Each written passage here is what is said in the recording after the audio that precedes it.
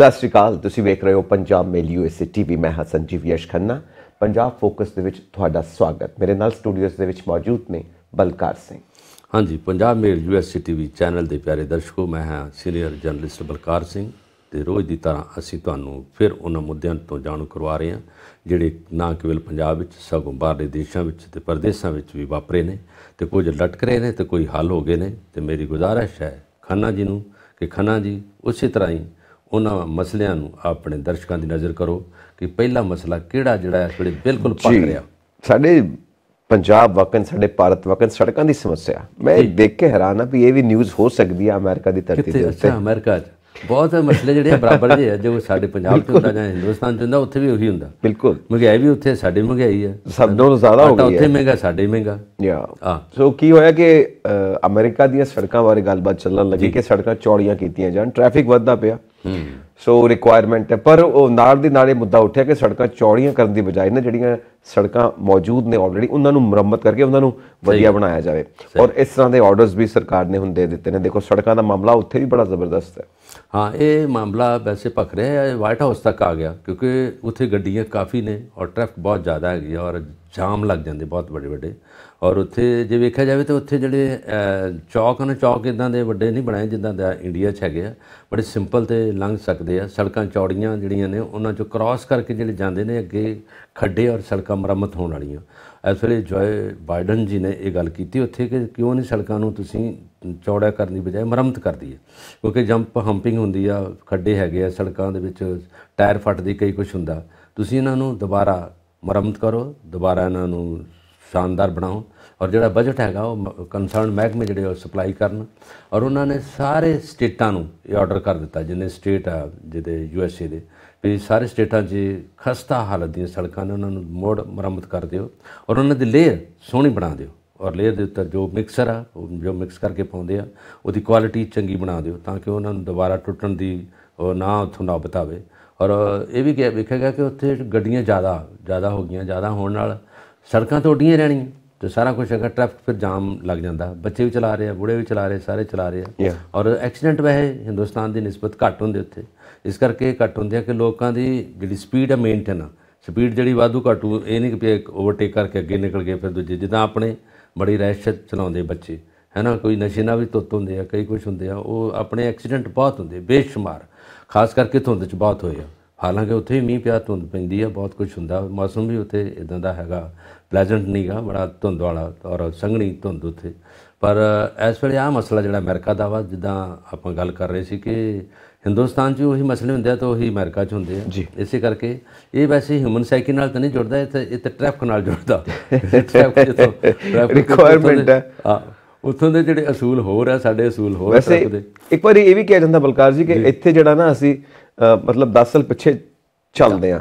ਸਾਨੂੰ ਪਤਾ ਲੱਗਦਾ ਕਿ ਹੁਣ ਇਸ ਚੀਜ਼ ਦੀ ਲੋੜ ਹੈ ਉਹ ਉਹਦਾ ਇੱਕ ਪਲੈਨਿੰਗ ਬਣਾਵਾਂਗੇ ਉਹ ਅਪਰੂਵ ਹੁੰਦੇ 10 ਸਾਲ ਲੱਗ ਜਾਣਗੇ। ਬਿਲਕੁਲ ਸਹੀ। ਇਹ ਚੀਜ਼ਾਂ ਅਮਰੀਕਾ 'ਚ ਨਹੀਂ ਉਹ 100 ਸਾਲ ਐਡਵਾਂਸ ਚੱਲਦੇ। ਐਡਵਾਂਸ ਇਹ ਕਿਹਾ ਜਾਂਦਾ। ਸੋ ਖੈਰ ਇੱਥੇ ਵੀ ਕਾਫੀ ਤਰੱਕੀ ਹੋ ਰਹੀ ਹੈ ਕਿਉਂਕਿ ਜਦੋਂ ਦਾ ਅਸੀਂ ਵਰਲਡ ਬੈਂਕਸ ਤੋਂ ਲੋਨ ਲੈਂਦੇ ਆ ਆਈਐਮਐਫ ਤੋਂ ਲੋਨ ਲੈਂਦੇ ਆ ਉਹਨਾਂ ਦੀ ਵੀ ਇਹ ਕੰਡੀਸ਼ਨ 'ਚ ਰਹਿੰਦਾ ਹੈ ਜੋ ਉੱਥੋਂ ਤੱਕ ਇਹ ਸਾਰੀਆਂ ਨਿਊਜ਼ ਪਹੁੰਚਦੀਆਂ ਨੇ ਤਰੱਕੀ ਤੇ ਹੈ ਕਿ ਤੁਸੀਂ ਆਪਣਾ ਇਨਫਰਾਸਟ੍ਰਕਚਰ ਵਧੀਆ ਕਰੋ ਫਲਾਈਓਵਰਸ ਬਣਾਓ ਹਾਈਵੇ ਬਣਾਓ। ਸੋ ਇਹ ਹਾਈਵੇ ਵੀ ਬਣਦੇ ਨੇ ਨੈਸ਼ਨਲ ਹਾਈਵੇ ਵੀ ਬਣਦੇ ਨੇ ਫਲਾਈਓਵਰਸ ਵੀ ਬਣਦੇ ਨੇ। ਸੋ ਹੁਣ ਵੀ ਕਾਫੀ ਤਰੱਕੀ ਤੇ ਆ ਅਸੀਂ। ਹੁਣ ਗੱਲ ਇਹ ਹੈ ਕਿ ਉਹਨਾਂ ਸੜਕਾਂ ਤੇ ਸਾਰੇ ਜਾਣੇ ਸਾਂਝੇ ਤੌਰ ਤੇ ਤੁਰੰਤ ਇਸ ਕਰਕੇ ਗਰੀਬਾਂ ਨੂੰ ਵੀ ਉੱਤੇ ਚੁੱਕੋ। ਇਹ ਨਾ ਹੋਵੇ ਕਿ ਉਹ ਜਿਹੜੇ ਵੱਡੀਆਂ ਵੱਡੀਆਂ ਗੱਡੀਆਂ ਵਾਲੇ ਨੇ ਉਹੀ ਇੱਥੇ ਜਾਣ। ਬਾਕੀ ਵੀ ਚੀਜ਼ਾਂ ਹੋਣੀਆਂ ਚਾਹੀਦੀਆਂ ਨੇ। ਬਾਈਕਸ ਵਾਲੇ ਵੀ ਖੈਰ ਹੁਣ ਕੀ ਕੀਤਾ ਜਾਵੇ? ਗਰੀਬੀ ਗਰੀਬੀ ਹੈ ਸਭ ਕੋਲ ਕਾਰ ਵੀ ਨਹੀਂ ਹੋ ਸਕਦੀ। ਬਾਈਕਸ ਤੇ ਵੀ ਹੋਣਗੇ ਸਾਈਕਲਸ ਤੇ ਵੀ ਹੋਣਗੇ ਲੋਕ। ਸੋ ਹਰ ਚੀਜ਼ ਜ਼ਰੂਰੀ ਹੈ।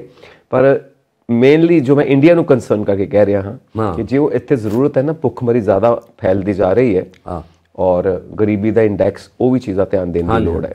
ਤਾਂ ਕਿ ਇਨਫਰਾਸਟ੍ਰਕਚਰ ਦੇ ਨਾਲ ਨਾਲ ਇਹ ਚੀਜ਼ਾਂ ਵੀ ਖੂਬਸੂਰਤ ਲੱਗਣ। ਇਹ ਨਾ ਹੋਵੇ ਕਿ ਜਦੋਂ ਅਮਰੀਕਾ ਦੇ ਪ੍ਰੈਜ਼ੀਡੈਂਟ ਆਏ ਸੀ ਤੇ ਇੱਕ ਦੀਵਾਰ ਖੜੀ ਕਰ ਦਿੱਤੀ ਗਈ ਕਿ ਉਧਰ ਦੀ ਚੌਂਪੜ ਪੱਟੀ ਦਿਖਾਈ ਨਾ ਦਵੇ ਉਹਨਾਂ ਨੂੰ। ਸੋ ਇਦਾਂ ਕਰਕੇ ਛੁਪਾਉਣਾ ਨਾ ਪਵੇ ਲੁਕਾਉਣਾ ਨਾ ਪਵੇ ਹਰ ਚੀਜ਼ ਪਰਤੱਖ ਹੋਣੀ ਚਾਹੀਦੀ ਹੈ। ਸੋ ਵੈਸੇ ਟ੍ਰੈਫਿਕ ਦੇ ਰੂਲ ਜਿਹੜੇ ਨੇ ਨਿਯਮ ਜਿਹੜੇ ਉੱਥੇ ਬੜੀ ਪਾਬੰਦੀ ਹੈ। ਉੱਥੇ ਆਪਣੇ ਵਾਂਗੂ ਨਹੀਂ ਕਿ ਰੈਸ਼ ਜਾਂ ਅਸੀਂ ਹੁਕਮਦੁਲੀ ਕਰਦੇ ਆ ਰੈੱਡ ਲਾਈਟ ਵੀ ਹੈਗੀ ਤਾਂ ਅਸੀਂ ਦੇਖਦੇ ਨਹੀਂ ਕਿ ਕਦੋਂ ਰੁਕਣਾ ਕਿੱਥੇ ਨਹੀਂ ਰੁਕਣਾ ਹੈ ਨਾ? ਟ੍ਰੇਨ ਇਵਨ ਆ ਰਹੀ ਤਾਂ ਟ੍ਰੇਨ 'ਚ ਵੀ ਜਦੋਂ ਆਉਂਦੇ ਲੋਕ ਲੰਘਣਾ ਸ਼ੁਰੂ ਕਰ ਦਿੰਦੇ ਆ ਹੈ ਨਾ? ਉਹ ਜਿਹੜੇ ਉੱਥੇ ਲੱਗੇ ਨੇ ਫਾਟਕ ਲੱਗੇ ਫਾਟਕ ਵੀ ਕ੍ਰਾਸ ਕਰ ਜਾਂਦੇ ਆ। ਲੋਕ ਕਈ ਵਾਰੀ ਮੌਤ ਨੂੰ ਆਪ ਆਵਾਜ਼ਾਂ ਮਾਰਦੇ ਆ ਇੱਥੇ ਇੰਡੀਆ 'ਚ। ਪਰ ਉੱਥੇ ਲੋਕਾਂ ਨੂੰ ਵਿੱਚ ਸੂਝਵਾਨ ਤਾਂ ਲੋਕ ਹੈਗੇ ਆ, ਸਿਆਣੇ ਵੀ ਹੈਗੇ ਆ। ਅਸੀਂ ਸਾਨੂੰ ਕਾਲੀ ਨੇ ਮਾਰ ਦੇਣਾ ਸੀ ਕਾਲੀ ਕਰਦੇ ਕਰਦੇ ਕਰਦੇ ਅੱਗੇ ਜਾ ਕੇ ਐਕਸੀਡੈਂਟ ਕਰ ਦਿੰਦੇ ਮੁੰਡੇ ਤੁਸੀਂ ਕਈ ਵਾਰੀ ਰੈਸ਼ ਗੱਡੀਆਂ ਚਲਾਉਂਦੇ ਦੇਖੋ ਟੂ ਵੀਲਰ ਚਲਾਉਂਦੇ ਦੇਖੋ। ਬਜ਼ੁਰਗ ਵਿਚਾਰੇ ਪਿੱਛੇ ਰਹਿ ਜਾਂਦੇ ਕਈ ਵਾਰੀ ਬਜ਼ੁਰਗਾਂ ਨੂੰ ਓਵਰਟੇਕ ਕਰਨ ਲੱਗਾ ਸਾਈਡ ਮਾਰ ਕੇ ਸੁੱਟ ਜਾਂਦੇ ਆ। ਕਈ ਵਿਚਾਰੇ ਤੁਰੇ ਜਾਂਦੇ ਡਿੱਗ ਪੈਂਦੇ ਆ। ਉਹਨਾਂ ਨੂੰ ਨਾ ਗੱਲ ਮਜ਼ਾਕ ਚ ਕੀਤੀ ਜਾਂਦੀ ਹੈ ਮਜ਼ਾਕ ਵਿੱਚ ਇੱਕ ਗੱਲ ਕੀਤੀ ਜਾਂਦੀ ਹੈ ਕਿ ਅਸੀਂ ਹਮੇਸ਼ਾ ਟ੍ਰੈਫਿਕ ਸਿਗਨਲ ਤੋੜਨ ਦੇ ਵਿੱਚ ਬਹਾਦਰੀ ਸਮਝਦੇ ਹਾਂ ਸ਼ਾਨ ਸਮਝਦੇ ਹਾਂ। ਔਰ ਇੱਕ ਜੋਕ ਮਾਰਿਆ ਕਿਸੇ ਨੇ ਕਹਿੰਦਾ ਅਮਰੀਕਾ ਦੇ ਧਰਤੀ ਤੇ ਕੀ ਹੋਇਆ ਕਿ ਕਿਸੇ ਨੇ ਚੋਰੀ ਕੀਤੀ। ਉਹ ਚੋਰ ਜਾ ਰਿਹਾ ਆਪਣੀ ਬਾਈਕ ਤੇ ਜਾਂ ਕਾਰ 'ਚ ਪਿੱਛੇ ਪੁਲਿਸ ਲੱਗੀ ਹੋਈ ਹੈ। ਅੱਗੇ ਰੈੱਡ ਲਾਈਟ ਹੋ ਗਈ ਤੇ ਉਹ ਖੜਾ ਹੈ ਸਿਗਨਲ ਦੀ ਵੇਟ ਕਰਦਾ ਪਿਆ ਕਿ ਜਦੋਂ ਗ੍ਰੀਨ ਸਿਗਨਲ ਹੋਏਗਾ ਉਦੋਂ ਤੁਰੂੰਗਾ। ਪਿੱਛੋਂ ਭਾਵੇਂ ਪੁਲਿਸ ਆ ਕੇ ਫੜ ਲਵੇ ਪਰ ਉਹਨੇ ਰੂਲ ਨਹੀਂ ਤੋੜਿਆ ਮਜ਼ਾਕ ਕੀਤਾ ਜਾਂਦਾ। ਔਰ ਇੱਥੇ ਅਸੀਂ ਰੂਲ ਤੋੜਦੇ ਹਾਂ। ਯੈਸ ਅੱਛੇ ਆ। ਔਰ ਕਿਸੇ ਤਰ੍ਹਾਂ ਦੀ ਹੁਕਮਦੂਲੀ ਨਹੀਂ ਕਰਦੇ। ਜੀ ਜੀ ਬਿਲਕੁਲ। ਪਰ ਅਸੀਂ ਤੋੜ ਭੰਨ ਕੇ ਅੱਗੇ ਚੱਲ ਜਾਂਦੇ ਹਾਂ, ਅੱਗੇ ਹੁਣ ਤੋਂ ਬਾਅਦ ਅੱਗੇ ਜਾ ਕੇ ਫੜੇ ਜਾਂਦੇ ਹਾਂ, ਇੱਥੋਂ ਛੁੱਟਾਂਗੇ ਹੈਗਾ। ਪੁਲਿਸ ਛੱਡਦੀ ਤਾਂ ਨਹੀਂ ਦੂਰ ਤੱਕ ਤਾਂ ਪੜਤਾਲ ਕਰਦੀ ਹਾਂ। ਚਲੋ ਅੱਗੇ ਵਧੀਏ ਜੀ। ਜੀ। ਸਿੱਖ ਮਸਲੇ। ਜੀ। ਪੱਕਾ ਮੋਰਚਾ ਬੈਠਾ ਹੋਇਆ। ਹੈ। ਸੋ ਹੁਣ ਪ੍ਰਵਾਸੀ ਭਾਰਤੀ ਵੀ ਉਹਦੇ ਨਾਲ ਜੁੜਨ ਲੱਗ ਪਏ ਨੇ ਜਿਵੇਂ ਆਪਾਂ ਦੇਖਿਆ ਸੀ ਨਾ ਪਹਿਲਾਂ ਕਿਸਾਨ ਅੰਦੋਲਨ ਦੇ ਵਿੱਚ ਇਹ ਹੋਇਆ ਸੀ। ਹੁਣ ਇੱਥੇ ਵੀ ਹੋਣ ਲੱਗ ਪਿਆ ਹੈ ਸਿੱਖ ਮਸਲੇ ਕਿਉਂਕਿ ਬੰਦੀ ਸਿੰਘਾਂ ਦਾ ਮਸਲਾ ਹੈ ਬੇਅਦਬੀ ਦਾ ਮਸਲਾ ਹੈ ਬਾਈਬਲ ਕਲਾ ਗੋਲੀकांड ਹੈ। ਜੀ। ਸੋ ਇਹ ਇਹ ਸਾਰੇ ਮਸਲੇ ਜੋ ਬੇਅਦਬੀ ਦਾ ਮਸਲਾ ਗੁਰੂ ਗ੍ਰੰਥ ਸਾਹਿਬ ਦੇ ਉਹ ਵੀ ਹਜੇ ਪੈਂਡਿੰਗ ਪਏ ਨੇ। ਜੀ ਜੀ ਜੀ ਜੀ ਜੀ। ਇਸੇ ਤਰ੍ਹਾਂ ਹੀ ਆ ਕਿ ਜਿਸ ਤਰ੍ਹਾਂ ਅਸੀਂ ਪਿਛਲਾ ਥੋੜਾ ਜਿਹਾ ਸਮਾਂ ਦੇਖੀਏ ਜਦੋਂ ਜਿੰਨੇ ਵੀ ਕਿਸਾਨ ਉਹਨਾਂ ਨੇ ਆਪਣਾ ਅੰਦੋਲਨ ਕੀਤਾ ਅੰਦੋਲਨ ਕਿਸਾਨਾਂ ਦਾ ਸੀਗਾ ਔਰ ਦਿੱਲੀ ਦੀਆਂ ਸਾਰੀਆਂ ਸੜਕਾਂ ਤੇ ਉਹ ਜਾ ਕੇ ਡੇਰੇ ਲਾ ਲਏ ਉਹਨਾਂ ਨੇ ਔਰ ਘੱਟੋ ਘੱਟ ਵੀ ਡੇਢ ਸਾਲ ਤੱਕ ਚੱਲਿਆ ਉਹਦੇ ਚ ਪ੍ਰਵਾਸੀ ਭਾਰਤੀ ਆਏ। ਔਰ ਜਦੋਂ ਕੇਂਦਰ ਨੇ ਪੁੱਛਿਆ ਕਿ ਅਕਾਊਂਟ 'ਚ ਪੈਸਾ ਕਿੱਧਰੋਂ ਆ ਰਿਹਾ, ਇੰਨੇ ਲੰਗਰ ਲੱਗੇ, ਇੰਨਾ ਖਾਣ ਪੀਣ, ਇੰਨੇ ਸ਼ੈ ਉੱਥੇ ਤੰਬੂ ਕਨਾਤਾਂ ਲੱਗੇ, ਕਿੱਥੋਂ ਆ ਰਿਹਾ? ਫਿਰ ਇਹਦੋਂ ਜਵਾਬ ਇਹਨਾਂ ਦਾ ਸੀ ਕਿ ਸਾਨੂੰ ਪ੍ਰਵਾਸੀ ਭਾਰਤੀ ਅਮਦਾਦ ਕਰ ਰਹੇ ਆ ਆ ਪੈਸਾ ਉਹਨਾਂ ਦਾ ਵਾ ਆ ਅਕਾਊਂਟ ਉਹਨਾਂ ਦੇ ਹੈਗੇ ਆ। ਔਰ ਪ੍ਰਵਾਸੀ ਭਾਰਤੀ ਨੇ ਸਾਰਿਆਂ ਨੇ ਪੂਰੇ ਤਨ ਮਨ ਤੇ ਧਨ ਨਾਲ ਸੇਵਾ ਕੀਤੀ। ਔਰ ਹੁਣ ਇਹ ਗੱਲ ਜਿਹੜੀ ਹੈਗੀ ਆ ਗੁਰੂ ਗ੍ਰੰਥ ਸਾਹਿਬ ਦੇ ਸਰੂਪਾਂ ਦੀ ਜਿਹੜੀ ਬੇਅਦਬੀ ਦੀ ਔਰ ਨਾਲ ਨਾਲ ਲੱਗਦੀ ਜਿਹੜੀ ਹੈਗੀ ਆ, ਜਿਹੜੇ ਰਿਹਾਈ ਆ, ਜਿਹੜੇ ਪੰਥ- ਸਿੱਖ ਪੰਥ ਦੇ ਬੁਲਾਰੇ ਨੇ ਜਾਂ ਜਿਹੜੇ ਸਿਰਕੱਢ ਲੋਕ ਨੇ, ਜਿਹੜੇ ਅੱਜ ਕੱਲ ਅੰਦਰ ਨੇ, ਔਰ ਰਿਹਾਈ ਲਈ ਉਹਨਾਂ ਲਈ ਬੜੇ ਜਦੋਜਹਿਦ ਹੋਈ ਆ।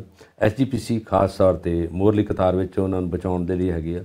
ਬਾਕੀ ਜਥੇਬੰਦੀਆਂ ਵੀ ਜਿਹੜੀਆਂ ਇਸ ਵੇਲੇ ਚੰਡੀਗੜ੍ਹ ਦੀਆਂ ਜਿਹੜੀਆਂ ਇਮਾਰਤਾਂ ਨੇ ਜਾਂ ਸੜਕਾਂ ਨੇ, ਉੱਥੇ ਉਹ ਆਪਣੇ ਤੰਬੂ ਕਨਾਤਾਂ ਲਾ ਕੇ ਬੈਠੇ ਹੋਏ ਆ।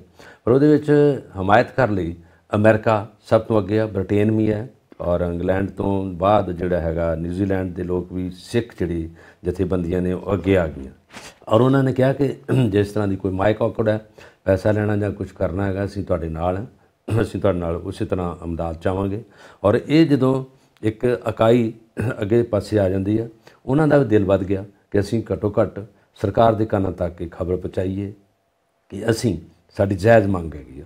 ਉਹਦੇ ਲਈ ਅਸੀਂ ਇਹ ਨਹੀਂ ਕਹਿ ਰਹੇ ਕਿ ਸਾਨੂੰ ਉਹਨਾਂ ਨੂੰ ਜਿਹਨਾਂ ਦੀ ਸਜ਼ਾ ਨਹੀਂ ਅਜੇ ਤੱਕ ਪੂਰੀ ਹੋਈ ਤਾਂ ਉਹਨਾਂ ਨੂੰ ਕੱਢ ਦਿਓ। ਸਜ਼ਾ ਪੂਰੀ ਹੋਣ ਵਾਲਿਆਂ ਦੇ ਲਈ ਕਿਹਾ ਹੈਗਾ। ਉਹਨਾਂ ਨੇ ਕਿਹਾ ਕਿ ਕਈ ਪੋਲੀਟੀਸ਼ੀਅਨ ਜਿਹੜੇ ਆ, ਉਹ ਸਜ਼ਾ ਪੂਰੀ ਨਹੀਂ ਹੋਈ ਤਾਂ ਉਹਨਾਂ ਨੂੰ ਬਾਹਰ ਕੱਢ ਰਹੇ ਜੇ। ਉੱਥੇ ਜੁਡੀਸ਼ਰੀ ਕੀ ਕਰ ਰਹੀ ਹੈ? ਔਰ ਉਹਦੇ ਵਿੱਚ ਰਾਮ ਰਹੀਮ ਦੇ ਬਾਰੇ ਚ ਵੀ ਹੁਣ ਆ ਰਿਹਾ ਕਿ ਉਹਨਾਂ ਨੇ ਪੈਰੋਲ ਲਈ ਅਪਲਾਈ ਕਰਤਾ, ਉਹ ਫਿਰ ਦੁਬਾਰਾ ਆ ਰਹੇ ਨੇ। ਉਹ ਕਿੰਨੀ ਵਾਰੀ ਪੈਰੋਲ ਲਾ ਕੇ ਆ ਜਾਂਦੇ ਆ। ਪਰ ਉਹਨਾਂ ਜਿਹੜੇ ਬੰਦੀ ਨੇ ਰਿ- ਜਿਨ੍ਹਾਂ ਦੀ ਰਿਹਾਈ ਇਸ ਵੇਲੇ ਹੋਣ ਵਾਲੀ, ਉਹਨਾਂ ਨੂੰ ਕਿਉਂ ਨਹੀਂ ਕੱਢ ਰਹੇ? ਔਰ ਉਹਦੇ ਵਿੱਚ ਇਸ ਵੇਲੇ ਮੋਹਰਲੀ ਕਤਾਰ ਵਿੱਚ ਸਾਰੇ ਦੇਸ਼ਾਂ ਵਿੱਚੋਂ ਉਹਨਾਂ ਨੇ ਪ੍ਰਦਰਸ਼ਨੀ ਕੀਤੀ ਹੈ। ਖਾਸ ਕਰਕੇ ਅਮਰੀਕਾ ਦੀਆਂ ਸੜਕਾਂ ਤੇ ਵੀ ਲੋਕ ਆ ਗਏ ਆ। ਉਹਨਾਂ ਨੇ ਵਿਰੋਧਤਾ ਕੀਤੀ ਇਸ ਗੱਲ ਦੀ ਕਿ ਤੁਸੀਂ ਕਿਉਂ ਨਹੀਂ ਉਹਨਾਂ ਨੂੰ ਛੱਡ ਰਹੇ?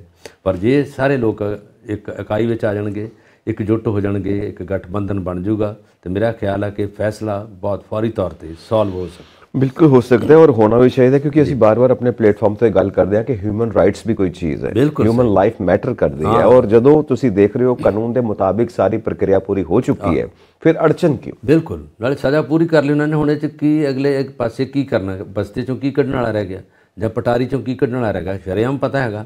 ਔਰ ਆਪਾਂ ਕਈ ਵਾਰੀ ਜ਼ਿਕਰ ਵੀ ਕਰਦੇ ਹਾਂ ਕਿ ਕਈ ਜਿਹੜੇ ਵਿਚਾਰੇ ਸਜ਼ਾ ਪੂਰੀ ਕਰ ਨਹੀਂ ਰਹੇ ਜਾਂ ਜਿਹੜੇ ਜਿਨ੍ਹਾਂ ਕੋਲ ਜੋ ਕੁਝ ਹੋ ਗਿਆ ਜਿੱਦਾਂ ਬਾਨੂ ਦਾ ਕੇਸ ਸੀਗਾ। ਉਹਦੇ ਲਈ ਉਹਨਾਂ ਨੇ 11 ਬੰਦੇ ਅੰਦਰ ਸੀਗੇ। ਫੌਰੀ ਤੌਰ ਤੇ ਛੱਡ ਤੇ ਘਰਾਂ ਚ ਆ ਗਏ। ਉਦੋਂ ਜੁਡੀਸ਼ਰੀ ਕੀ ਕਰਦੀ। ਹੁਣ ਬਲਕਾਰ ਜੀ ਆਪਾਂ ਪੰਜਾਬ ਦੀ ਧਰਤੀ ਤੇ ਆਉਨੇ ਆ ਜੀ। ਕਿ ਮਨਪ੍ਰੀਤ ਬਾਦਲ ਦਾ ਭਾਜਪਾ ਦੇ ਵਿੱਚ ਸ਼ਾਮਿਲ ਹੋਣਾ। ਹਾਂ। ਇਹ ਕੀ ਸਿਗਨਲ ਦਿੰਦਾ? ਔਰ ਕਈ ਕਹਿੰਦੇ ਨੇ ਕਿ ਮੌਸਮ ਦੇ ਮੁਤਾਬਿਕ ਇਹ ਲੋਕ ਜਿਵੇਂ ਕੱਪੜੇ ਬਦਲੇ ਜਾਂਦੇ ਨੇ ਉਵੇਂ ਪਾਰਟੀਆਂ ਬਦਲਦੇ ਨੇ ਸਿਧਾਂਤ ਬਦਲਦੇ ਨੇ। ਸੋ ਇਹਨਾਂ ਦਾ ਕੋਈ ਸਿਧਾਂਤ ਨਹੀਂ ਇਹਨਾਂ ਦੀ ਕੋਈ ਪਾਰਟੀ ਨਹੀਂ ਇਹਨਾਂ ਦੀ ਕੋਈ ਆਈਡੀਓਲੋਜੀ ਨਹੀਂ ਜਿੱਥੇ ਫਾਇਦਾ ਦੇਖਦੇ ਨੇ ਉਧਰ ਤੁਰ ਪੈਂਦੇ ਨੇ। ਸੋ ਇਹ ਪੋਲੀਟੀਕਲ ਲੀਡਰਸ ਦਾ ਕਿਰਦਾਰ ਬਣਿਆ ਹੋਇਆ ਇਸ ਵਕਤ ਔਰ ਕਿਸੇ ਵਕਤ ਇਹਨਾਂ ਨੇ ਪੰਜਾਬ ਪੀਪਲਸ ਪਾਰਟੀ ਪੀਪੀਪੀ ਬਣਾਈ ਸੀ। ਪੀਪੀਸੀ ਬਣਾਈ ਸੀ ਹਾਂ। ਉਸ ਵਕਤ ਇਹਨਾਂ ਨੇ ਸ਼ਹੀਦ ਆਜ਼ਮ ਭਗਤ ਸਿੰਘ ਦੇ ਥਾਂ ਦੇ ਉੱਤੇ ਜਾ ਕੇ ਦੇਸ਼ ਦੀ ਮਿੱਟੀ ਨੂੰ ਹੱਥ 'ਚ ਫੜ ਕੇ ਸੀ ਖਾਧੀ ਸੀ। ਔਰ ਉਸ ਤੋਂ ਬਾਅਦ ਦੇਖੋ ਪੀਪੀਪੀ ਪਤਾ ਨਹੀਂ ਕਿੱਥੇ ਗਈ। ਔਰ ਕਾਂਗਰਸ ਹੋ ਗਈ। ਕਾਂਗਰਸ ਛੱਡ ਕੇ ਹੁਣ ਬੀਜੇਪੀ ਹੋ ਗਈ ਔਰ ਰੀਜ਼ਨ ਦਿੰਦੇ ਨੇ ਕਿ ਜੋ ਧੜੇਬੰਦੀ ਹੈ ਕਾਂਗਰਸ ਦੇ ਵਿੱਚ ਸਾਨੂੰ ਪੂਰੀ ਤਰ੍ਹਾਂ ਨਾਲ ਕੰਮ ਨਹੀਂ ਕਰਨ ਦਿੰਦੇ ਜਦੋਂ ਮੈਂ ਖਜ਼ਾਨਾ ਮੰਤਰੀ ਰਿਹਾ ਮੈਂ ਪੂਰੀ ਕੋਸ਼ਿਸ਼ ਕੀਤੀ ਖਜ਼ਾਨਾ ਭਰਨ ਦੀ ਪਰ ਮੇਰੇ ਉੱਤੇ ਹੀ ਸਾਰਾ ਠਿਕਰਾ ਭੰਨਿਆ ਜਾਂਦਾ ਹੈ ਕਿ ਮੈਂ ਖਜ਼ਾਨਾ ਖਾਲੀ ਕੀਤਾ ਇਹ तमाम ਗੱਲਾਂ ਹੁੰਦੀਆਂ ਨੇ ਹਾਂ। ਔਰ ਇੱਕ ਵਾਰੀ ਅ, ਕਈ ਵਿਰੋਧੀ ਧਿਰਾਂ ਨੇ ਵੀ ਕਿਹਾ ਸੀਗਾ ਕਿ ਮਨਪ੍ਰੀਤ ਬਾਦਲ ਕੋਲ ਜਿੰਨੀ ਸਿਕਿਉਰਿਟੀ ਪਰਸਨਸ ਨੇ ਉਹਨੇ ਸ਼ਾਇਦ ਕਿਸੇ ਹੋਰ ਕੋਲ ਨਹੀਂ ਹੈਗੇ ਸੋ ਇਹ तमाम ਗੱਲਾਂ ਨੇ ਅਸਲ 'ਚ ਗੱਲ ਹੈਗੀ ਕਿ ਇਹਦਾ origin ਤਾਂ ਵੈਸੇ ਬਾਦਲ ਪਰਿਵਾਰ 'ਚੋਂ ਹੋਇਆ ਉਹਨਾਂ ਦਾ ਸੁਖਬੀਰ ਬਾਦਲ ਦੇ ਤਾਏ ਦਾ ਨੈਫਿਊ ਨੇ ਭਤੀਜਾ ਉਹਦਾ ਭਤੀਜਾ ਉਹਦੇ ਚ- ਤਾਏ ਦਾ ਮੁੰਡਾ ਔਰ ਇਹ ਉਹਨਾਂ ਦੇ ਵਿੱਚ ਰਹਿ ਵੀ ਆ, ਵਿੱਤ ਮੰਤਰੀ ਦੇ ਤੌਰ ਤੇ ਕੰਮ ਵੀ ਕੀਤਾ ਹੈਗਾ, ਪਰ ਉੱਥੇ ਇਹਨਾਂ ਦੀ ਆਪਸੀ ਨਹੀਂ ਬਣੀ, ਖਿੱਚੋਤਾਣੀ ਰਹੀ ਆ। ਔਰ ਸੁਖਬੀਰ ਬਾਦਲ ਨੇ ਇਹਨੂੰ ਕੱਢ ਕੇ ਬਾਹਰ ਮਾਰਿਆ। ਉਸ ਤੋਂ ਬਾਅਦ ਇਹਨਾਂ ਨੇ ਆਪਣੀ, ਤੁਸੀਂ ਜਿਵੇਂ ਦੱਸਿਆ, ਪੀਪੀ, ਪੀ, ਜਿਹੜੀ ਰਾਜਨੀਤਿਕ ਕਮੇਟੀ ਬਣਾ ਲਈ। ਉਹ ਕਮੇਟੀ ਜਦੋਂ ਨਹੀਂ ਚੱਲੀ ਕਿਸੇ ਪਾਸੇ, ਫਿਰ ਇਹ ਕਾਂਗਰਸ ਚ ਆ ਕੇ ਛਾਲ ਮਾਰ ਕੇ ਆ ਗਏ। ਕਾਂਗਰਸ ਚ ਰਹੇ ਆ ਜਦੋਂ ਕੈਪਟਨ ਸਾਹਿਬ ਸੀਗੇ, ਉਦੋਂ ਵੀ ਵਿੱਤ ਮੰਤਰੀ ਰਹੇ ਆ। ਉਦੋਂ ਬਾਅਦ ਫਿਰ ਜਦੋਂ ਇਹ- ਇਹਨਾਂ ਦੀ ਰਾਜਾ ਵੜਿੰਗ ਨਾਲ ਬਹੁਤੀ ਹੂੰ ਹਾਂ ਬਣੀ। ਨਹੀਂ ਹੈ। ਉਹ ਨਹੀਂ ਵਾਲੀ ਉਹ ਅਸਲ 'ਚ ਪ੍ਰੋਬਲਮ ਇਹ ਰਹੀ ਹੈ ਬੇਸਿਕ ਗੱਲ ਇਹ ਹੈਗੀ ਆ ਕਿ ਉਹਨਾਂ ਨੂੰ ਸੂਬੇ ਦਾ ਪ੍ਰਧਾਨ ਬਣਾਤਾ ਕਾਂਗਰਸ ਦਾ। ਇਹ ਸੀਨੀਅਰ ਸੀ ਉਹਨਾਂ ਨੂੰ ਬਣਾਇਆ ਕੁਝ ਨਹੀਂਗਾ ਲੜਾਈ ਕਿਸ ਗੱਲ ਦੀ ਕੁਰਸੀ ਦੀ ਕਿ ਉਹ ਕਿੱਦਾਂ ਬਣ ਗਏ ਤੇ ਮੈਨੂੰ ਨਹੀਂ ਬਣਾਇਆ। ਫਿਰ ਇਹਨਾਂ ਨੇ ਉੱਥੇ ਕੋਈ ਹੋਰ ਮੁੱਦੇ ਵੀ ਰੱਖੇ ਸੀਗੇ। ਉਹ ਉਹਨਾਂ ਨੇ ਨਹੀਂ ਮੰਨੇ। ਜਦੋਂ ਨਹੀਂ ਮੰਨੇ ਚੁੱਪ ਕਰ ਰਹੇ। ਚੁੱਪ ਕਰਨ ਤੋਂ ਬਾਅਦ ਇਹਨਾਂ ਨੇ ਫਿਰ ਛੜਾ- ਛੜੱਪਾ ਮਾਰ ਕੇ ਬੀਜੇਪੀ ਚ ਆ ਗਏ। ਹੁਣ ਬੀਜੇਪੀ ਨੇ ਵੀ ਕੁਝ ਕੀਤਾ। ਇਸ ਕਰਕੇ ਆਇਆ ਕਿ ਕੈਪਟਨ ਸਾਹਿਬ ਤਾਂ ਅੱਗੇ ਬੈਠੇ ਉੱਥੇ। ਜਾਖੜ ਸਾਹਿਬ ਉੱਥੇ ਬੈਠੇ ਆ ਤੀਜੀ ਤੇਰੇ ਆ ਗਏ। ਤਿੰਨੇ ਪ੍ਰੋਮਿਨੈਂਟ ਬੰਦੇ ਸੀਗੇ। ਇਹਨਾਂ ਚੋਂ ਰਹਿ ਗਏ ਕੌਣ? ਚੰਨੀ ਜੀ ਰਹਿ ਗਏ ਤੇ ਇੱਕ ਦੋ ਹੋਰ ਖਾਸਮ ਖਾਸ ਓੜਿੰਗ ਸਾਹਿਬ ਰਹਿ ਗਏ, ਨਵਜੋਤ ਸਿੱਧੂ ਜੀ ਰਹਿ ਗਏ। ਬਾਕੀ ਤਿੰਨ ਕੁ ਰਹਿ ਗਏ ਆ ਤੇ ਬਾਕੀ ਮੇਨ ਜਿਹੜੇ ਉਹ ਛੜਾ ਛਾਲ ਮਾਰ ਕੇ ਪਾਸੇ ਆ ਗਏ। ਜਦੋਂ ਕਿ ਕਹਿੰਦੇ ਆ ਦਿੱਲੀ ਤੋਂ ਸਰਕਾਰ ਚੱਲਦੀ ਹੈ ਇਹਨਾਂ ਦਾ ਇਹ ਮਿਹਣਾ ਹੁੰਦਾ ਸੀ ਦਿੱਲੀ ਤੋਂ ਸਰਕਾਰ ਚੱਲਦੀ ਤੇ ਆ ਵੀ ਦਿੱਲੀ ਬੈਠੇ ਆ। ਕਹਿਣ ਤੇ ਕਰਨ ਚ ਬਹੁਤ ਫ਼ਰਕ ਹੁੰਦਾ। ਇਹ ਬਿਆਨਬਾਜ਼ੀ ਕੁਛ ਕਰਦੇ ਆ ਜੀ ਭਗਵੰਤ ਮਾਨ ਜੀ ਦਿੱਲੀ ਨਾਲ ਜਾ ਕੇ ਰਲ ਜਾਂਦੇ ਜੀ ਉੱਥੋਂ ਰਿਮੋਟ ਚੱਲਦਾ ਜੀ ਫਲਾਣਾ ਇਹ ਕਿੱਥੇ ਗੱਲ ਕਰਦੇ? ਇਹ ਚੰਡੀਗੜ੍ਹ ਨਾਲ ਤਾਂ ਨਹੀਂ ਜੁੜੇ? ਇਹ ਵੀ ਦਿੱਲੀ ਨਾਲ ਹੀ ਗੱਲਾਂ ਦੀ ਹੈ ਇਹਨਾਂ ਦਾ ਰਿਮੋਟ ਵੀ ਦਿੱਲੀ ਆ। ਹੁਣ ਆ ਦਿੱਲੀ ਗੱਲ ਆ ਜਾਂ ਤਾਂ ਅ, ਪ੍ਰਧਾਨ ਮੰਤਰੀ ਸਾਹਿਬ ਨਾਲ ਗੱਲ ਹੋਈ ਜਾਂ ਅਮਿਤ ਸ਼ਾਹ ਨਾਲ ਗੱਲ ਹੋਈ ਹੋਗੀ ਇਹ ਆਏ ਆ ਇਹ ਵੇਂਦੇ ਆ ਝੁਕਦਾ ਸ਼ਾਬਾ ਕਿਹੜਾ ਹੈਗਾ? ਝੁਕਦਾ ਸ਼ਾਬਾ ਮਤਲਬ ਹੈ ਹੈ ਵੀ ਕਿਹੜਾ ਹੈਗਾ? ਜਿੱਥੇ ਪੈਸਾ ਹੈਗਾ ਜਿੱਥੇ ਕੁਰਸੀ ਆ ਜਿੱਥੇ ਪੈ- ਸਾਰਾ ਕੁਝ ਹੈਗਾ ਜਿੱਥੇ ਸ਼ੋਹਰਤ ਹੈਗੀ ਆ। ਇਹਨਾਂ ਨੂੰ ਪਤਾ ਵੀ ਜਿਹੜੀ ਪਾਰਟੀ 'ਚ ਮੈਂ ਬੈਠਾ ਹਾਂ ਤਾਂ ਇਸ ਵੇਲੇ ਜ਼ੀਰੋ ਹੋਈ ਪਈ ਹੈ ਪੰਜਾਬ 'ਚ। ਇਹਦਾ ਕੋਈ ਹੈ ਨਹੀਂ। ਜੇ ਅਕਾਲੀ ਦਲ ਜਾਣਾ ਤਾਂ ਉਹ ਵੀ ਨੁਕਰੇ ਲੱਗੇ ਪਏ ਆ ਹੈ ਨਾ ਤੇ ਬੀਜੇਪੀ ਦਾ ਸੈਂਟਰ 'ਚ ਤੇ ਹੈ ਨਾ ਕੁਛ ਨਾ ਕੁਛ। ਜੇ ਕੱਲ ਨੂੰ ਆਉਂਦੇ ਆ, ਮਿਲ ਕੇ ਕਰਦੇ ਸਰਕਾਰ ਬਣਾਉਂਦੇ ਆ, ਫਿਰ ਮੁੱਖ ਮੰਤਰੀ ਉਹਨਾਂ ਦਾ ਬਣੂਗਾ। ਆਉਣ ਵਾਲਾ ਸਮਾਂ ਇਹਨਾਂ ਨੂੰ ਬ੍ਰਾਈਟ ਲੱਗਿਆ। ਇਹ ਕਹਿੰਦੇ, ਮਾਰੋ ਛੜੱਪਾ ਤੇ ਚਲੋ ਬੀਜੇਪੀ 'ਚ। ਇੱਕ ਨਹੀਂ ਗਿਆ ਕੱਲਾ ਮਨਪ੍ਰੀਤ ਬਾਦਲ ਨਹੀਂ ਗਿਆ। ਕਈ ਪ੍ਰੋਮਿਨੈਂਟ ਹਸਤੀਆਂ ਗਈਆਂ। ਔਰ ਇਹ ਦੇਖੋ, ਹਾਲਾਂਕਿ ਬੜਾ ਸੂਝਵਾਨ ਪੜ੍ਹਿਆ ਲਿਖਿਆ ਸ਼ਾਇਰੋ ਸ਼ਾਇਰੀ ਦਾ ਬੜਾ ਕਿਰਦਾਰ ਹੈ। ਬਹੁਤ ਅੱਛੀ ਲਿਖਣੀ ਦਾ ਵੀ ਹੈਗਾ। ਫਾਈਨਾਂਸ ਨੂੰ ਬਹੁਤ ਅੱਛਾ ਜਾਣਦਾ। ਪਰ ਇੱਥੇ ਆ ਕੇ ਇਹ ਬਿਲਕੁਲ ਇਸ ਢੈਂਦੀ ਕਲਾ ਵੱਲ ਚਲ ਜਾਂਦੇ ਆ ਕਿਉਂਕਿ ਉਦੋਂ ਇਹਨਾਂ ਦਾ ਕੰਮ ਜਿਹੜਾ ਬਿਲਕੁਲ ਜ਼ੀਰੋ ਹੋ ਜਾਂਦਾ ਜਦੋਂ ਪਾਰਟੀ ਛੱਡ ਜਾਂਦੇ ਆ। ਖਾਨਾ ਜੀ ਤੁਹਾਨੂੰ ਸ਼ਾਇਦ ਪਤਾ ਹੋਗਾ ਬਾਹਰਲੇ ਦੇਸ਼ਾਂ 'ਚ ਮਲਟੀ ਪਾਰਟੀ ਸਿਸਟਮ ਨਹੀਂ ਹੈਗਾ। ਦੋ ਪਾਰਟੀਆਂ ਮੇਜਰ ਹੈਗੀਆਂ। ਦੂਜੀ ਪਾਰਟੀ ਤੋਂ ਕੰਜ਼ਰਵੇਟਿਵ ਤੋਂ ਤੇ ਰਿਪਬਲਿਕਨ 'ਚ ਨਹੀਂ ਜਾਂਦਾ। ਜੇ ਜਾਊਗਾ ਤਾਂ ਕੁਝ ਤਰੀਕੇ ਨਾਲ ਜਾਊਗਾ ਪਰ ਉਹ ਇਹ ਨਹੀਂ ਕਿ ਰਾਤ ਉੱਥੇ ਤੇ ਦਿਨ ਉੱਥੇ। ਦੋ ਪਾਰਟੀਆਂ ਦਾ ਮਲਟੀ ਪਾਰਟੀ ਸਿਸਟਮ ਨਹੀਂ ਹੈਗਾ। ਸਾਡੇ ਪਤਾ ਨਹੀਂ ਕਿੰਨੀਆਂ ਪਾਰਟੀਆਂ ਬਦਲਦਾ ਬੰਦਾ। ਤੁਸੀਂ ਜਿੱਥੋਂ ਗਿਣ ਲਓ ਕਿ ਦੂਰ ਤੱਕ, ਸਾਰੇ ਨੇਤਾ ਇਸ ਤਰ੍ਹਾਂ ਕਰਦੇ ਹੋ ਜੇ ਪੰਜਾਬ ਦੇ ਕੈਪਟਨ ਸਾਹਿਬ ਮੁੱਖ ਮੰਤਰੀ ਹੋਣ ਦੇ ਬਾਅਦ ਜਦੋਂ ਉਹਨਾਂ ਕੋਲ ਅਸਤੀਫਾ ਲੈਣਾ ਪਿਆ, ਮਾਰ ਕੇ ਛੜਾਪਾ ਬੀਜੇਪੀ 'ਚ। ਜਾਖੜ ਸਾਹਿਬ ਨੂੰ ਨਹੀਂ ਬਣਾਇਆ, ਭੱਜ ਗਏ। ਸਾਰਾ ਕੁਝ ਪਾਰਟੀ ਇਹਨਾਂ ਦੀ ਕਿਵੇਂ ਮਾੜੇ ਮੋਟੇ ਦਿਖਾ ਦਿਖਾਈ ਆ। ਪਾਰਟੀ ਨਾਲ ਕੋਈ ਇਹਨਾਂ ਦੀ ਸੰਵੇਦਨਸ਼ੀਲਤਾ ਸਾਂਝ ਨਹੀਂ ਹੁੰਦੀ। ਕੋਈ ਜਜ਼ਬਾਤੀ ਸਾਂਝ ਨਹੀਂ ਹੁੰਦੀ। ਤੇ ਨਾ ਲੋਕਾਂ ਨਾਲ ਸਾਂਝ ਹੁੰਦੀ ਹੈ ਇਹਨਾਂ ਨੂੰ ਸਿਰਫ ਤੇ ਸਿਰਫ ਕੁਰਸੀ ਚਾਹੀਦੀ ਹੁੰਦੀ ਹੈ। ਇਹ ਬਕਾਇਦਾ ਤੌਰ ਤੇ ਮੀਡੀਆ ਵੀ ਕਹਿੰਦਾ ਔਰ ਲੋਕ ਵੀ ਕਹਿੰਦੇ ਆ। ਲੋਕਾਂ ਦਾ ਫਿਰ ਯਕੀਨ ਉੱਠ ਜਾਂਦਾ ਇਹਨਾਂ ਤੋਂ। ਕੱਲ ਨੂੰ ਜਦੋਂ ਫਿਰ ਟਿਕਟ ਲੈ ਕੇ ਆਉਣਗੇ ਤਾਂ ਲੋਕ ਫਿਰ ਉੱਥੇ ਬੂਠਾ ਹੀ ਦਿਖਾਉਣਗੇ ਸਾਰਾ ਕੁਝ ਇਹ ਹੁੰਦਾ। ਇਹ ਗੱਲਾਂ ਸਾਰੀਆਂ ਪਾ ਲਾ ਕੇ ਇਹਨਾਂ ਦੇ ਆਉਣ ਦੇ ਸਮੇਂ ਦੇ ਵਿੱਚ ਬਹੁਤਾ ਭਵਿੱਖ ਉਜਲ ਨਹੀਂ ਦੱਸਦੇ ਨਾਲੇ ਬੀਜੇਪੀ ਇਹਨਾਂ ਨੂੰ ਲਈ ਜਾ ਰਹੀ ਹੈ ਸਾਰੇ ਵੱਡੇ ਵੱਡੇ ਬਜ਼ੁਰਗ ਨੇਤਾ ਨੇ ਜਿਨ੍ਹਾਂ ਨੂੰ ਲਈ ਜਾ ਰਹੀ ਹੈ ਬੀਜੇਪੀ ਔਰ ਆਪਣਾ ਫਰੰਟ ਮਜ਼ਬੂਤ ਕਰਨ ਦੀ ਕੋਸ਼ਿਸ਼ ਕਰ ਰਹੀ ਹੈ। ਪਰ ਕਈ ਲੋਕ ਕਹਿੰਦੇ ਨੇ ਕਿ ਇਹਨਾਂ ਦੀ ਸਾਖ ਖਤਮ ਹੁੰਦੀ ਜਾ ਰਹੀ ਹੈ ਕਿਉਂਕਿ ਜਦੋਂ ਇਹ ਭਰੋਸੇਯੋਗਤਾ ਖਤਮ ਹੋ ਜਾਂਦੀ ਹੈ ਪਰਸੈਪਸ਼ਨ ਬਣ ਗਈ ਨਾ। ਸਹੀ ਗੱਲ। ਲੋਕਾਂ ਦੇ ਵਿੱਚ ਕਿ ਇਹ ਲੋਕ ਆਪਣੀ ਪਾਰਟੀ ਦੇ ਛੱਡ ਕੇ ਉਧਰ ਚਲੇ ਗਏ। ਜਦੋਂ ਇਦਾਂ ਦੀਆਂ ਪਰਸੈਪਸ਼ਨਸ ਬਣ ਜਾਣ ਪਤਾ ਨਹੀਂ ਇਹ ਲੋਕ ਵੋਟ ਬੈਂਕ ਖਿੱਚ ਸਕਣਗੇ ਕਿ ਨਹੀਂ ਖਿੱਚ ਸਕਣਗੇ। ਇਹ ਵੀ ਇੱਕ ਜ਼ਰੂਰੀ ਤੌਰ ਤੇ ਬੀਜੇਪੀ ਨੂੰ ਦੇਖਣਾ ਪਏਗਾ ਕਿਉਂਕਿ ਕਈ ਲੋਕ ਕਹਿੰਦੇ ਨੇ ਕਿ ਇਹ ਬੀਜੇਪੀ ਦੇ ਵਿੱਚ ਸ਼ਾਮਿਲ ਹੋਣਾ ਬੀਜੇਪੀ ਦੇ ਵਾਸਤੇ ਘਾਤਕ ਵੀ ਸਿੱਧ ਹੋ ਸਕਦਾ ਹੈ। ਕਿਉਂਕਿ ਜਿੱਥੇ ਨੌਜਵਾਨ ਖੂਨ ਚਾਹੀਦਾ ਹੈ ਉਹ ਗੱਲ ਵੱਖਰੀ ਹੈ। ਔਰ ਬੀਜੇਪੀ ਦੀ ਸਟ੍ਰੈਟਜੀ ਇਹ ਹੈ ਪੰਜਾਬ ਦੇ ਅੰਦਰ 2024 ਦੀਆਂ ਇਲੈਕਸ਼ਨਸ ਨੂੰ ਲੈ ਕੇ ਕਿ ਸਿੱਖ ਭਾਈਚਾਰੇ ਦੇ ਨਾਲ ਨਾਲ ਬਾਕੀ ਥਾਵਾਂ ਤੇ ਵੀ ਜਾ ਕੇ ਜਿਹੜੇ ਵੋਲੰਟੀਅਰਸ ਨੇ ਬੀਜੇਪੀ ਦੇ ਮਿਲਣ ਔਰ ਸਾਡੀ ਜੋ ਆਈਡੀਓਲੋਜੀ ਉੱਥੇ ਪਹੁੰਚਾਣ ਪਰ ਦੇਖੋ ਇਹ ਕਿੱਥੇ ਸਮੀਕਰਨ ਬੈਠਦੇ ਕਿਉਂਕਿ 2024 ਦੀਆਂ ਇਲੈਕਸ਼ਨਸ ਆਪਾਂ ਪਹਿਲਾਂ ਵੀ ਗੱਲ ਕਰ ਚੁੱਕੇ ਹਾਂ ਬੜੀ ਮਜ਼ੇਦਾਰ ਹੋਣ ਲੱਗੀਆਂ ਨੇ। ਕਿ ਪਤਾ ਨਹੀਂ ਉੱਥੇ ਕੀ ਸਾਰਾ ਸਮੀਕਰਨ ਬੈਠੇਗਾ ਕਿਉਂਕਿ ਬੀਜੇਪੀ ਮੁੜ ਤੋਂ ਸੱਤਾ ਦੇ ਵਿੱਚ ਕਾਬਜ਼ ਹੋਣ ਦੀ ਕੋਸ਼ਿਸ਼ ਕਰੇਗੀ ਸੈਂਟਰ ਦੇ ਵਿੱਚ। ਤੇ ਬਾਕੀ ਪਾਰਟੀਆਂ ਵੀ ਫਰੰਟ ਤਿਆਰ ਕਰਦੀਆਂ ਪਈਆਂ। ਦੇਖੋ ਇਹ ਬੜਾ ਦਿਲਚਸਪ ਹੋਣ ਵਾਲਾ ਹੈ ਮੁਕਾਬਲੇਬਾਜ਼ੀ ਇਸ ਸਾਲ। ਅਸੀਂ ਕਾਊਂਟ ਕਰ ਲਿਆ ਕਿ 400 ਦਿਨ ਬਾਕੀ ਹੈ 2024 ਦੇ ਵਿੱਚ ਇਲੈਕਸ਼ਨ ਹੋਣ ਦੇ। ਉਹਨਾਂ ਨੇ ਡੇ ਬਾਈ ਡੇ ਵੰਡ ਲਿਆ, ਜਿਹੜੀ ਕਾਰਜਕਰਨੀ ਦੀ ਹੁਣੇ ਮੀਟਿੰਗ ਹੋਈ ਆ, ਉਹਨਾਂ 'ਚ ਇਹ ਫੈਸਲਾ ਕਰ ਲਿਆ ਕਿ ਕਿਹਨੇ ਕੀ ਕਰਨਾ, ਇਹਨਾਂ ਦਿਨਾਂ ਨੂੰ ਡਿਵਾਈਡ ਕਰ ਲਓ, ਹਰ ਬੰਦੇ ਦੀ ਡਿਊਟੀ ਨਾਲ ਜ਼ਿੰਮੇਵਾਰੀ ਦੇ ਦਿਓ। ਔਰ ਉਹਨਾਂ ਨੇ ਬੜਾ ਅੱਛਾ ਪੜੁੱਲ, ਬੜਾ ਅੱਛਾ ਪੈਂਤੜਾ ਔਰ ਬਹੁਤ ਅੱਛੀ ਗੇਮ ਬਣਾ ਲਈ ਹੈ ਔਰ ਬਲ- ਮੇਰਾ ਖਿਆਲ ਹੈ ਕਿ ਸਾਰੇ ਦੇਸ਼ ਦੇ ਕੋਨੇ-ਕੋਨੇ 'ਚ ਬੰਦੇ ਬਿਠਾਤੇ ਇਹਨਾਂ ਨੇ। ਹੁਣ ਆ ਪਤਾ ਲੱਗ ਗਿਆ ਤੁਸੀਂ ਕਿ ਮੈਨੂੰ ਲੱਗਦਾ ਇਸ ਹਿਸਾਬ ਨਾਲ ਸਿੰਗਲ ਪਾਰਟੀ ਰਹਿ ਜਾਣੀ ਹੈ ਜਿਸ ਹਿਸਾਬ ਨਾਲ ਬੀਜੇਪੀ ਇਸ ਵੇਲੇ ਪੁਰ ਜ਼ੋਰਾਂ ਨਾਲ ਉੱਪਰ ਚਲੇ ਗਈ ਹੈ ਕਾਂਗਰਸ ਦੇ ਵਿੱਚੋਂ ਹੀ ਜਿਹੜੇ ਉਹਨਾਂ ਦੇ ਨੁਮਾਇੰਦੇ ਨਿਕਲ ਨਿਕਲ ਕੇ ਜਾ ਰਹੇ ਆ। ਭਾਵੇਂ ਭਾਰਤ ਜੋੜਾ ਯਾਤਰਾ ਚੱਲ ਰਹੀ ਹੈ ਬੜਾ ਕੁਝ ਹੋ ਰਿਹਾ। ਪਰ ਇਹ ਪਾਰਟੀ ਇਸ ਵੇਲੇ ਅੰਬਰਾਂ ਤੇ ਖੜੀ ਹੈ। ਇਸ ਕਰਕੇ ਖੜੀ ਹੈ ਕਿ ਇਹਨਾਂ ਨੇ ਪੂਰੇ ਜਾਲ ਵਿਛਾਤੇ ਆ ਔਰ ਉਹਨਾਂ ਜਾਲ ਦੇ ਵਿੱਚ ਇਹਨਾਂ ਜੋ ਤਾਣਾ ਬਾਣਾ ਬੁਣ ਦਿੱਤਾ ਉਹਨੂੰ ਤੋੜਨਾ ਇੱਕ ਪਾਰਟੀ ਦੇ ਵੱਸ ਦੀ ਗੱਲ ਨਹੀਂ ਰਹੂਗੀ। ਇਹ ਜ਼ਰੂਰੀ ਹੈ ਕਿ ਉਹਨਾਂ ਨੂੰ ਬਾਕੀ ਪਾਰਟੀਆਂ ਨੂੰ ਥੋੜੀ ਮਜ਼ਬੂਤੀ ਦਿਖਾਉਣੀ ਪਊ। ਬਿਲਕੁਲ ਹੈ ਪਰ ਇੱਕ ਚੀਜ਼ ਆਪਾਂ ਮੰਨਾਂਗੇ ਕਿ ਡੈਮੋਕ੍ਰੇਸੀ ਹੈ ਲੋਕਤੰਤਰ ਹੈ। ਗੇਮ ਸਾਰੀ ਪਬਲਿਕ ਦੇ ਹੱਥ ਤਾਂ ਹੈ। ਪੱਕੀ ਗੱਲ ਜੋ ਕਰਨਾ ਪਬਲਿਕ ਨੇ ਕਰਨਾ। ਬਸ ਤੁਸੀਂ ਇੱਕ ਗੱਲ ਤਾਂ ਨਿਬੇੜਾ ਕਰਤਾ ਬਸ। ਬਿਲਕੁਲ। ਜੋ ਨਵੀਂ ਫਿਲਮ ਰਿਲੀਜ਼ ਹੋਵੇ ਉਹਦਾ ਰਿਜ਼ਲਟ ਕੀ ਹੈ? ਪਬਲਿਕ ਨੂੰ ਪਤਾ ਕੋਲ। ਪਾਰਟੀ ਕਿਹੜੀ ਜਿੱਤੂਗੀ ਕੌਣ ਅੱਗੇ ਆਊਗਾ ਕਿਹਨੂੰ ਪਤਾ ਹੈ? ਪਬਲਿਕ ਨੂੰ ਪਤਾ ਇਸ ਕਰਕੇ ਫਿਲਮ ਦਾ ਰਿਜ਼ਲਟ ਤੇ ਪੋਲੀਟੀਕਲ ਪਾਰਟੀ ਦਾ ਰਿਜ਼ਲਟ ਪਬਲਿਕ ਦੇ ਹੱਥ ਦੇ ਵਿੱਚ ਹੁੰਦਾ ਸੋ ਆਪਾਂ ਅੱਗੇ ਵਧੀਏ। ਜ਼ਰੂਰ। ਅੱਗੇ ਇਹ ਹੈ ਜੀ ਕਿ ਰਾਹੁਲ ਗਾਂਧੀ ਫਿਰ ਤੋਂ ਕਹਿ ਰਹੇ ਨੇ ਕਿ ਨਫ਼ਰਤ ਡਰ ਤੇ ਲੁੱਟ ਖਸੁੱਟ ਦਾ ਮਾਹੌਲ ਪੈਦਾ ਕਰ ਰਹੀ ਹੈ ਬੀਜੇਪੀ ਭਾਰਤ ਦੇ ਵਿੱਚ। ਤੇ ਮੈਂ ਜਿਹੜੀ ਭਾਰਤ ਜੋੜੋ ਯਾਤਰਾ ਲੈ ਕੇ ਨਿਕਲਿਆ ਇਹ ਮੈਂ ਨਫ਼ਰਤ ਦੇ ਬਾਜ਼ਾਰ ਦੇ ਵਿੱਚ ਪਿਆਰ ਦੀ ਦੁਕਾਨ ਖੋਲਣ ਦੀ ਕੋਸ਼ਿਸ਼ ਕਰਦਾ ਪਿਆ ਲੋਕਾਂ ਨੂੰ ਜੋੜਦਾ ਪਿਆ ਲੋਕਾਂ ਨੂੰ ਡਰ ਤੋਂ ਬਾਹਰ ਕੱਢਣ ਦੀ ਮੈਂ ਕੋਸ਼ਿਸ਼ ਕਰਦਾ ਪਿਆ। ਸੋ ਇਹ ਹੈ ਰਾਹੁਲ ਗਾਂਧੀ ਦਾ ਕਹਿਣਾ ਭਾਰਤ ਜੋੜੋ ਯਾਤਰਾ ਨੂੰ ਲੈ ਕੇ। ਵੈਸੇ ਮੇਰੇ ਖਿਆਲ ਉਹਨੇ ਇਸ ਗੱਲ ਨੂੰ ਮੱਦੇਨਜ਼ਰ ਰੱਖਿਆ ਕਿ ਇਹਨੇ ਆਪ ਵੀ ਈਡੀ ਫੇਸ ਕੀਤੀ ਇਹਦੇ ਮਦਰ ਨੇ ਵੀ ਪ੍ਰਿਯੰਕਾ ਵਾਡਰਾ ਨੇ ਵੀ ਸਾਰਿਆਂ ਨੇ। ਸਾਰਿਆਂ ਨੇ। ਪਰ ਉਹ ਇੱਕ ਦਹਿਸ਼ਤ ਹੈ ਉਹਦੇ ਵਿੱਚ ਆਪੋਜੀਸ਼ਨ ਲਈ ਖੜੀ ਕੀਤੀ। ਫਿਰ ਸੀ- ਜਿਹੜੀ ਸੀਆਈਡੀ ਜਾਂ ਜਿਹਦੇ ਚ ਬਾਕੀ ਏਜੰਸੀਆਂ ਇਹਨਾਂ ਦੀਆਂ ਨਾਲ ਲੱਗਦੀਆਂ ਨੇ ਉਹਦੇ ਚ ਸੀਬੀਆਈ ਹੈ ਨਾ ਇਹ ਵੀ ਏਜੰਸੀਆਂ ਹੈਗੀਆਂ। ਬਾਕੀ ਜਿਹੜੀਆਂ ਜੁਡੀਸ਼ਰੀ ਆ ਹੋਰ ਕੀ ਚੀਜ਼ਾਂ ਨੇ ਇਹ ਇਹਨਾਂ ਦੇ ਹੱਥ ਵਿੱਚ ਹੈਗੀਆਂ ਕਿਹਦੇ? ਕੇਂਦਰ ਸਰਕਾਰ ਦੇ। ਜਿਹੜੀ ਸਰਕਾਰ ਹੈ ਇਸ ਵੇਲੇ ਰੂਲਿੰਗ ਪਾਰਟੀ ਆ। ਔਰ ਉਹ ਇਹਨਾਂ ਨੇ ਇਹ ਕਿਹਾ ਕਿ ਨਫ਼ਰਤ ਤੇ ਜਾਂ ਜਿਹੜਾ ਭੜਕਾਊਵਾਦ ਜਾਂ ਜਿਹਦੇ ਵਿੱਚ ਲੁੱਟ ਖਸੁੱਟ, ਉਹ ਫੈਲਾਉਣ ਲਈ ਜਾਂਦੇ ਸਰਕਾਰ ਜ਼ਿੰਮੇਵਾਰ ਹੈਗੀ ਆ। ਪਰ ਜਿਹੜੀ ਸਰਕਾਰ ਇੱਕ ਵਾਰੀ ਜਦੋਂ ਤਖਤੇ ਤੇ ਬੈਠੀ ਹੁੰਦੀ ਉਹਦੇ ਤੇ ਕਈ ਦੂਸ਼ਣ ਤਾਂ ਲਾਏ ਜਾਂਦੇ ਆ। ਲਾਉਂਦੇ ਕੌਣ ਹੁੰਦੇ ਆ? ਵਿਰੋਧੀ ਪਾਰਟੀਆਂ। ਪਰ ਇਹਦੇ ਵਿੱਚ ਕਈ ਲੋਚਕਾਂ ਨੇ, ਨੇਤਾਵਾਂ ਨੇ ਔਰ ਬਾਕੀ ਸੂਝਵਾਨ ਲੋਕਾਂ ਨੇ, ਅਰਥਸ਼ਾਸਤਰੀਆਂ ਨੇ ਵੇਖੇ ਆ, ਕਈ ਉਦਾਹਰਨਾਂ ਦਿੰਦੇ ਵੀ ਹੈਗੇ ਆ ਕਿ ਇਹਨਾਂ ਨੂੰ ਈਡੀ ਦੀ ਜਿਹੜੀਆਂ ਪੁਰਾਣੀਆਂ ਗੱਲਾਂ ਨੇ, ਪੁਰਾਣੇ ਪੋਤੜੇ ਆ, ਉਹ ਉਧੇੜੇ ਗਏ।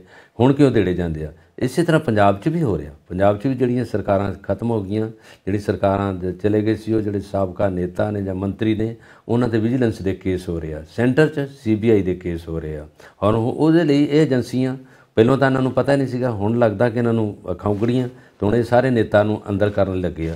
ਅਸਲ 'ਚ ਪਤਾ ਕੀ ਆ ਕਿ ਉਹ ਕਹਿੰਦੇ ਨੇ ਗੱਡਾ ਗਡੋਰੀਆ ਕਿੰਨਾ ਕੁ ਪਾਰ ਇੱਕ ਮੁੱਕੀ ਚੁੱਕ ਲਾ ਤੇ ਦੂਜੀ ਨੂੰ ਤਿਆਰ।